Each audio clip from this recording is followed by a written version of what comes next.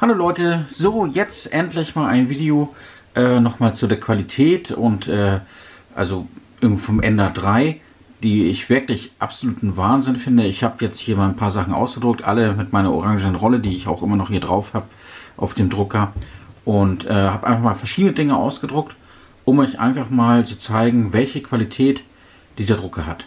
Ähm, wurde einmal negativ geäußert, dass der hier unscharf war, als ich ihn das letzte Mal gezeigt habe. Ich hoffe, diesmal klappt es besser. Ähm, wie ihr seht, hier die Oberfläche, die Z-Oberfläche, das kleine Loch in dieser Stange hier. Dann haben wir hier Y, da haben wir auch ein ganz gerades Loch von diesem Calibration Cube. Also der ist wirklich super Qualität ausgedruckt worden. Ich hoffe, dass das jetzt alles scharf ist. So, das nächste, was ich auch ziemlich fasziniert finde, ist dieses Teil. Das ist in einem Stück ausgedruckt worden. Hm. Also es wird so ausgedruckt und äh, wenn ihr das dann ein bisschen beweglich gemacht habt, dann ist das hier so ein Teil, was immer wieder sich klappen lässt an den Scharnieren und äh, eben wirklich aus einem einzigen Stück ausgedruckt. Ich finde es echt faszinierend. Genau, das ist der Ender 3 von Creality. Wir machen gleich mit den anderen Sachen weiter. Ähm, unten findet ihr einen Link äh, in der Videobeschreibung, wo ihr ihn einmal bei Amazon kaufen könnt oder auch bei GearBest. Ähm, bei den Links kriege ich eine kleine Provision, wenn ihr darüber kauft. Unterstützt ihr mich ein bisschen. Würde mich freuen, wenn ihr die Links nutzen würdet. Äh, könnt natürlich auch irgendwas anderes bestellen.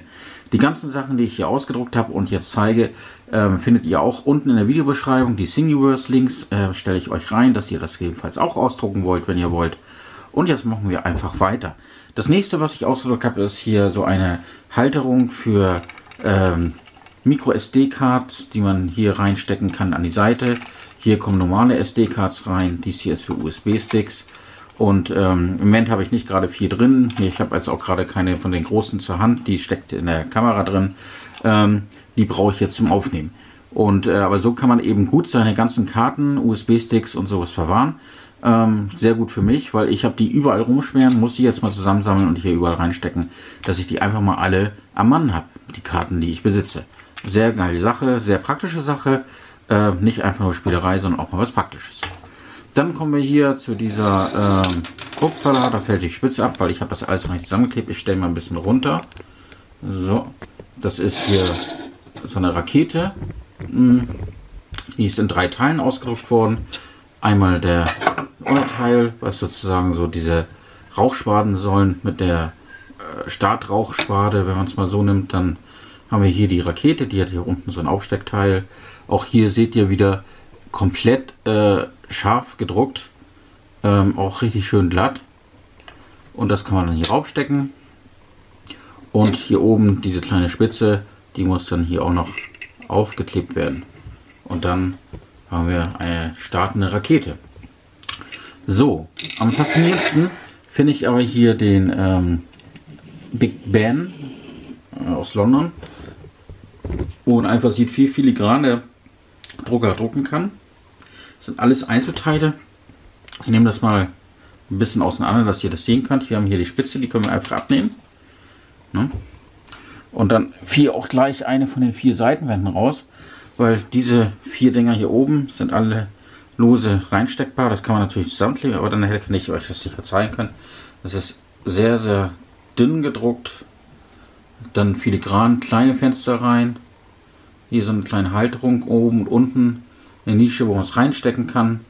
Hier in die Spitze ist so doppelte Sache eingelassen. Und dann kann man es hier eben reinstecken.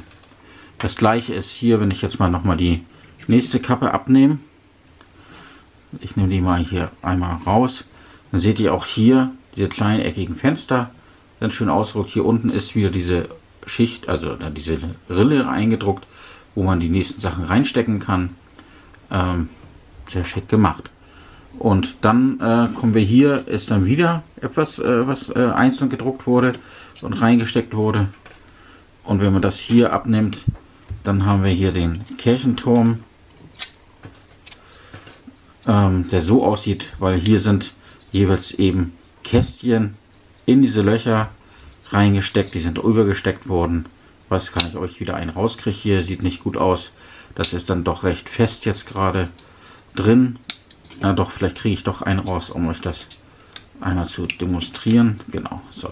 So sieht es eben ohne aus. Und das ist eben dieses Teil, dieses Uhrenteil, was darüber äh, gepackt wird. Und da seht ihr dann eben wirklich, wie gerade und filigran diese Ender 3 drucken kann. Also ich bin ziemlich begeistert. Wie gesagt, ich habe hier an meinen Drucker keinerlei Einstellung vorgenommen. Ich habe einfach nur die Einrichtung in Cura vorgenommen über den Creality Ender 10 oder CR10 und dann äh, die Druckgröße angepasst und das war's. Ähm, out of the box, nichts verändert und äh, ich kriege diese Qualität hin. Das ist schon klasse. Hier unten ist dann das letzte, das sind dann diese Wände hier, äh, die eben auch so lang dann einfach da reingesteckt werden. Ja, im Grunde genommen war es das. Ich wollte euch einfach noch mal ein bisschen was zur Qualität vorführen. Also ich bin wie gesagt begeistert, merkt ihr schon.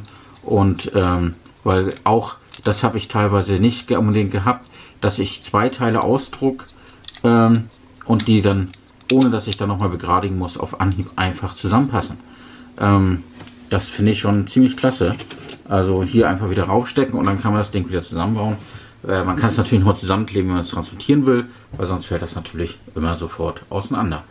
Ja, ähm, da habt ihr jetzt noch mal ein paar ein bisschen Eindruck bekommen zur Qualität. Wie gesagt, äh, das Filament, äh, was ich hier jetzt für benutzt habe, stelle ich unten auch noch mal einen Link rein. Das könnt ihr bei Amazon kaufen. Gibt es auf 500 Gramm Rollen. Ich kann ja einmal hier hochstellen, dass ihr das einmal noch mal seht, wo die da oben hängt. So, da oben hängt eben die Rolle. Die ist schon jetzt überhalb leer sind immer 500 Gramm drauf. Es ist PLA-Filament. Ähm, und ja, ich stelle den Link unten einfach nochmal rein, welches das ist, wo ich das gekauft habe bei Amazon. Und dann könnt ihr euch das auch holen, wenn ihr das wollt. Ähm, ist eine ziemlich krasse Farbe, die ist orange, finde ich. Ähm, passt jetzt vielleicht nicht gerade zu äh, dem, ja, wie sagen wir das hier, zu dem Glockenturm. Das wäre natürlich wahrscheinlich in so einem leichten Beige-Ton oder sowas viel besser.